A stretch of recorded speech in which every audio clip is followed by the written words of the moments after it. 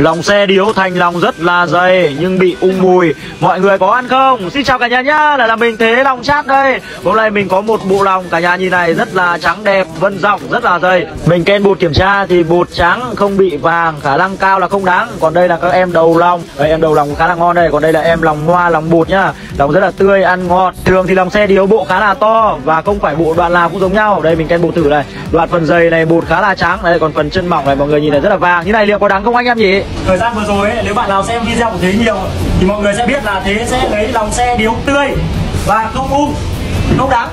Đấy, mọi người sẽ thường chú ý đến uh, lòng đắng nhiều hơn. Tại vì thứ nhất là mọi người ken bột này, thứ hai là mọi người ăn mọi người sẽ cảm nhận được cái vị nó đắng. Đấy, còn bản chất ấy, lòng ung là Thế cũng không lấy nhá.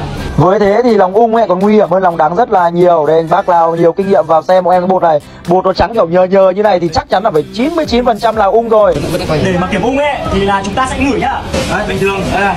Khi mà ken bột ra bột màu trắng rồi. Đấy thấy chưa Đấy, rất nhiều bạn sẽ bảo là à, mùi lòng nào nó chẳng giống nhau. Tuy nhiên ấy khi mà các bạn có kinh nghiệm các bạn sẽ ngửi bộ lòng tươi ấy, nó sẽ khác. Và ngửi cái lòng ung này nó sẽ có mùi tung tủ mùi gây nhá em nhá. Và đặc biệt là em đầu lòng này em đầu lòng này theo kinh nghiệm của mình ấy 10 em đầu lòng phải 7 em ung hoặc đắng. Đây các bác nhìn này khi đi mua các bác chú ý nhá. Đây cái đầu nó vàng vàng như này khả năng đắng là cao này còn cái đầu nó bợt bợt như này thì chắc chắn là ung rồi. Đấy còn bác nào kỹ hơn thì có thể cho lên ngửi như mình.